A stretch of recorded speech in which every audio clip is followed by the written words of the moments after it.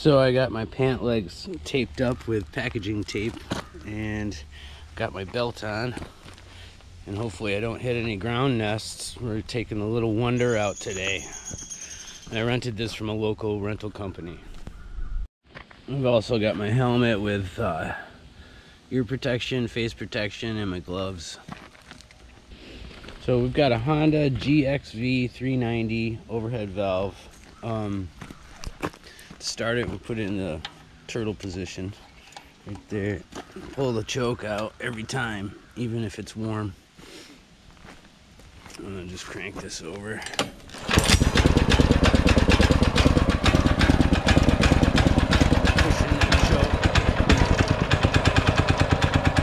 A little gas. And then we got a parking brake right here, but this is this is your uh,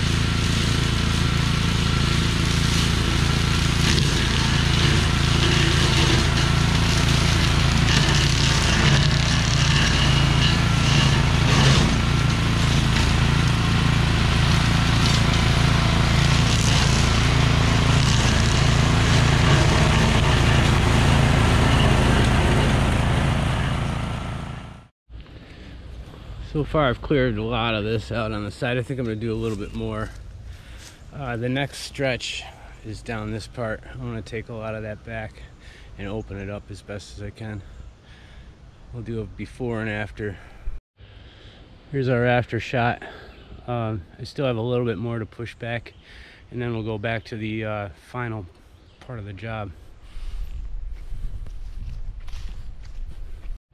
Uh, so what I, last time I shut it off, like I just put it right on stop, and then I had a little hard time starting it up. But I didn't need to use the choke; it flooded out. So when I turned it off this time, I just slowly brought it down to stop. So really, what I'm doing out here is getting back to the old landscaping that used to be here. It's so overgrown. Um, get a lot of yucca plants, like all up and down the drive, the old drive. Um, was hogging it back, you know. And I made a cool little trail right here. Uh, went into this part. It's, there's a little foundation back here. It's like a grove of, uh, is it sassafras and uh, and myrtle. There's an old foundation back there, so. This is all their property. These are huge rhododendrons back in here. Um, So that's enough goofing around with the trail. The real deal is to open up this big area um, for just, yeah, just getting it all back to normal, like these little islands.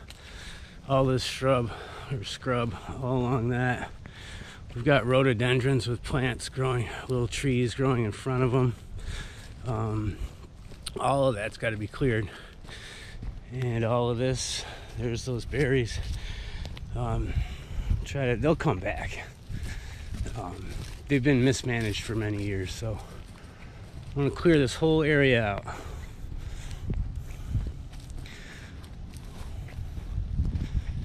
And we have a picnic table. The mushrooms went crazy right here. Um, and uh, we've got electric service. So it's a great place for a camper. And we got one feather. It seems early for this, but we have one set of Indian pipe.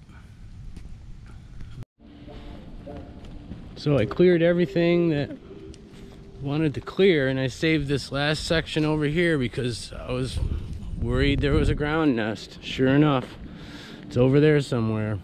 I only have one strip or two two or three strips left on that and that little uh, yellow jacket was poking me in the back of my neck and I jumped in my car which was right here and uh, took off and I drove just a little ways back to the main drive and got out and that thing was still after me uh, so I went all the way just to my house and or my home and um, got inside and it was gone. So it's been about an hour. I'm gonna get this thing loaded up and we're done with this project till fall